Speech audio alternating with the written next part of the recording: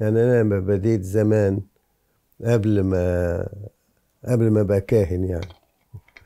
فكنت ما كانش فيه الكشاكيل الفاخرة الموجودة دلوقتي ولا الانترنت ولا الموبايلات والحاجات دي كلها. فكان الكراس عبارة عن 24 صفحة 24 ورقة. يعني يعني 48 صفحة. وكان حاجة رخيصة. فكنت جايب كرتونة دفاتر مثلا هبتدي بسفر التكوين فأقرأ الأصحاح الأولاني وأكتب يعني أشوف كتاب يعني يرشدني شوية لكن ما يبقاش هو كل حاجة في حياتي. أحب أنا أعمل أقرأ وأشوف. فمثلا هكتب ال- البداية هي الخليقة. يا ترى الأصحاح الأولاني أنا أسميه اسم معين وهكذا. والحاجة اللي تعجبني أعمل تعليق بس ما يزيدش عن أربع خمس أسطر. علشان لو تكون كميات كبيرة مش هقراها تاني. ولما بديت يعني للخدمة قبل ما قبل الكهنوت أو لما بديت أشتغل وبعدين الخدمة في الفترة دي بديت أكتب. ولما بكتب يعني أسجل إلى حد ما وأتذكر يعني يعني الحاجة اللي ما أنساهاش. وأنا كنت بشتغل في البنك كنت في اسكندرية. وكنت بحدد وقت معين قبل النوم أقرأ فيه الإنجيل.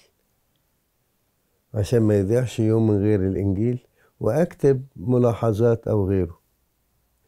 وبعدين لقيت القديس أغسطينوس كاتب ملاحظات عن العهد الجديد بالإنجليزي. قعدت أترجمها. ومتذكر وقتها لما ترجمتها قلت ده ما دي فرصة. كنت وقتها خادم مدارس أحد في محرم بيه أطبعها بالستنسل. على حسب يعني الإمكانيات في الوقت ده. فبديت إيه أفكر أعمل إيه. فلقيت نفسي مش جايني نوم فقمت صليت.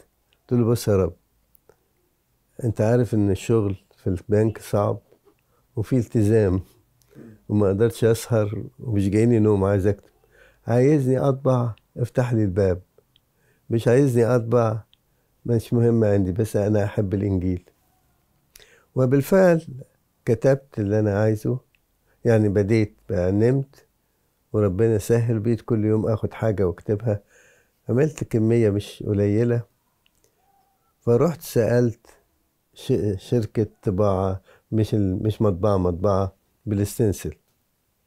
قالوا لي نقدر نطبع لك ما أعرفش كام نسخة والمهم يعني مش صغير مش طبعا كانت كل حاجة رخيصة في الوقت ده.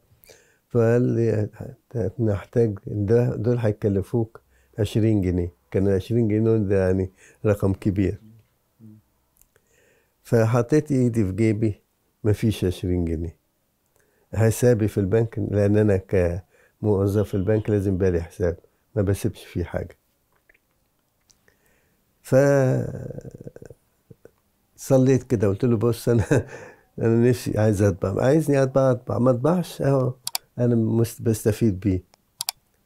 فتاني يوم أو بعد الصلوة دي لقيت جاي جواب من الهيئة اللي فوق البنك اللي هي ما أعرفش كان اسمها إيه. مجموعة بنوك مع شركات.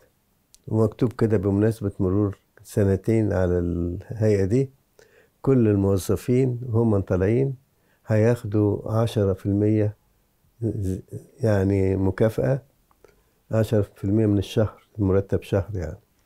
بحد أدنى عشرين جنيه وبحد أعلى مية جنيه. فطبعا أنا كنت لسه يا دوب بشتغل فبقي لي إن أنا هاخد عشرين جنيه. وأنت وطلع تاخد فطلعت دخلت ال staff department إداني الايه الباكو عليه اسمي ورحت رحت للشركة اديتهم ال 20 جنيه هم انطبعوا بال stencil مم. وده علمني إن أسيب كل حاجة في إيد ربنا.